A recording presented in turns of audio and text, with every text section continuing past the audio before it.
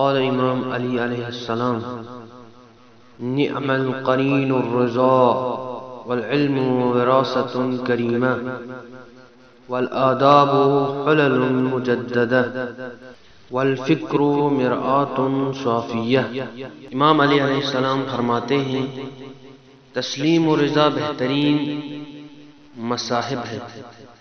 یعنی خدا کی دی ہوئی نعمتوں پر راضی ہونا سب سے بہترین ساتھی ہیں اور علم شریف ترین میراث ہے۔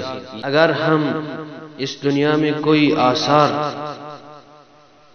چھوڑ کے جانا چاہتے ہیں تو ہمیں علم سے بڑھ کر کوئی چیز نہیں ہے۔ اور علمی و عملی اوصاف نو بنو خلقت ہیں اور فکر صاف و شفاف آئینہ ہے کیونکہ احادیث میں بیان ہوا ہے کہ ایک لمحہ فکر کرنا ستر سال کی عبادت سے بہتر ہے۔ نہج البلاغہ، حکمت نمبر چار۔